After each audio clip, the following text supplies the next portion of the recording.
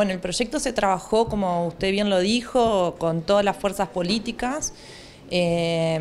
lo que buscábamos es poder buscar una herramienta que nos permita reunirnos y seguir deliberando y aprobando normas, eh, que no sea en la presencialidad, que hoy es una de las cuestiones que tenemos que evitar. Eh, no solo por el movimiento que implica de los 15 concejales, sino el movimiento que implica en el Consejo de un número bastante importante de empleados que eh, evitamos digamos, que se movilicen en este contexto.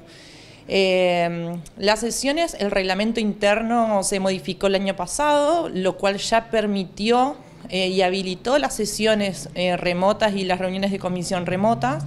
Lo que hicimos a través de este decreto es eh, reglamentar específicamente la, eh, la parte virtual, digamos, el reglamento interno sigue vigente y solamente este protocolo que, se redactó lo que hace es regular las sesiones va a ser muy similar a lo que sucede en la presencialidad y lo que ya se han visto en otros órganos legislativos que están sesionando de manera virtual.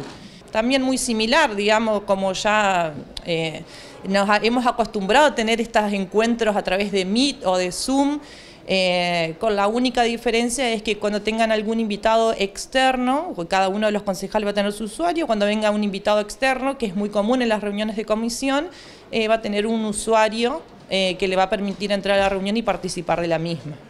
Eh, está previsto en el decreto que eh, cuando sucedan circunstancias extraordinarias de fuerza mayor que no permitan las reuniones presenciales del Consejo, quedan habilitadas entonces a través de la virtualidad, ya sea esta pandemia, alguna catástrofe natural, o sea, cualquier otra eventualidad eh, que no permita la presencialidad, bueno, ya quedan habilitadas para hacerse las sesiones y las reuniones de comisión de manera virtual.